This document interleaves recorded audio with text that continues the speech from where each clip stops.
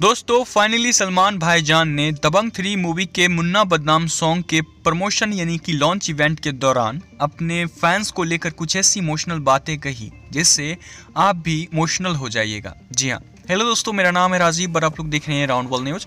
सबसे पहले बता दें कि सलमान भाई जान की एक सॉन्ग रिलीज़ हुई है, मुन्ना बदनाम, जो कि दबंग थ्री मूवी का सॉन्ग है। दोस्तों, इस सॉन्ग को लोगों ने काफ़ी ज़्यादा पसंद किया है और काफ़ी ज़्यादा सराहा है। अगर बात कर ली जाए तो इसी सॉन्ग के लॉन्च इवेंट के दौरान सलमान भाईजान ने अपने फैंस को लेकर कुछ बातें कही है। बता दें कि सलमान भाईजान से मीडिया पर्सन ने बात करते वक्त ये कहा कि ये फ़िल्म का जो बज है काफ़ी ज़्यादा है और ये फ़िल्म काफ़ी बड़ी फ़िल्म है तो इस पर सलमान भाईजान काफ़ी ज़्यादा खुश हो गए, क्योंकि मीडिया पर्सन ने ये कहा कि ये फ़िल्म को लेकर बज और क्रेज सबसे ज़्यादा है। क्यों क्योंकि फैंस जो हैं, सो इस फ़िल्म का इंतज़ार तभी से कर रहे हैं जब से इस फ़िल्म की शूटिंग स्टार्ट हुई है, जब से इस फ़िल्म का अनाउंसमेंट किया गया था तभी से। और तभी से इस फ़िल्म से जुड़ी कुछ ना कुछ सोशल मीडिया पर हमेशा वायरल होती रहती हैं।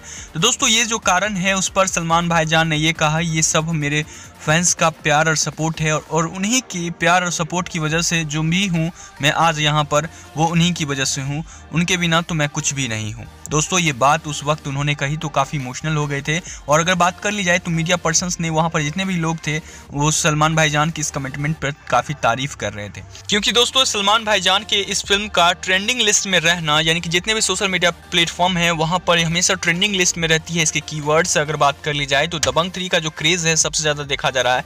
और इसी वजह से ये हमेशा सर्चेज में रहती है इंटरनेट पर और वायरल होती रहती है। और इसीलिए इस फ़िल्म को प्रमोशन की ज़रूरत नहीं, फिर भी सलमान भाईजान इस फ़िल्म का प्रमोशन जी तोड़ कर कर रहे हैं। तो दोस्तों, ऐसा में कहना, ये गलत नहीं होगा कि सलमान भाईजान के फैंस भी सलमान भाईजान से उतना ही प्यार करते हैं, जितना सलमान भाईजान अपने फैंस से प्यार करते हैं।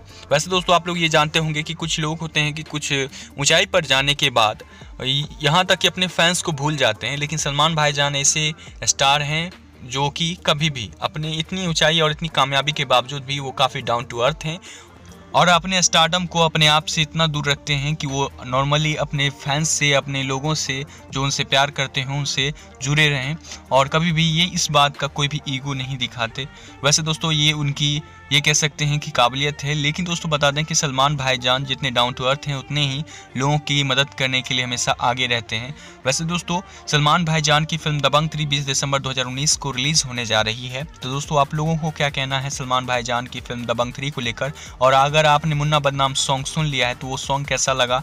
वो वीडियो आपको कैसा लगा? नीचे कमेंट्स में नीचे ज़रूर शेयर करें। फ़िलहाल दोस्तों, इस रिपोर्ट में इतना ही। जैसे मेरे पास आई कोई भी रिपोर्ट आती है तो हम आप लोग को ज़रूर बताएँगे। अगर आपने विजिटर हैं तो चैनल को सब्सक्राइब कीजिए और चैनल के साथ बने रहिए।